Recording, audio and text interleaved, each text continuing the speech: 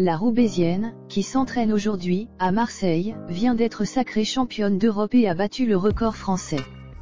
C'est la première médaille française de ces championnats à Glasgow, en Écosse. Le Safre, 23 ans, a devancé en 4 minutes 34 sec 17% l'italienne Hilaria Cusinato et la britannique Anna Miley. Déjà ce vendredi matin, Fantine Le Safre s'était qualifiée pour la finale du 400 mètres 4 nages avec le meilleur temps des séries en rabotant son record personnel de près de 3 secondes et en s'emparant ainsi du record de France.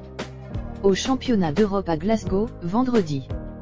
En nageant en 4 minutes 36 sec 17% dès le matin, Le Safre, 23 ans, dont le temps de référence s'établissait jusque-là à 4 minutes 38 sec 88% avait fait mieux que l'italienne Hilaria Cusinato et les britanniques Amy Wilmot et Anna Miley, ses plus sérieuses rivales en finale en début de soirée. Elle en a profité pour déposséder Lara Grandjean du record de France, 4, 36.61 en 2016, pour 44 centièmes. La hongroise Katinka Osu ayant fait l'impasse sur cette course. Je ne pensais pas du tout faire ça. Je savais que j'étais en forme et qu'il fallait que je nage vite ce matin, mais de là à faire le record de France. C'est énorme, s'est réjoui le Safre.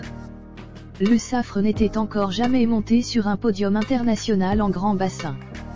Elle a été médaillée de bronze européenne sur la même distance en petit bassin en décembre dernier, à Copenhague.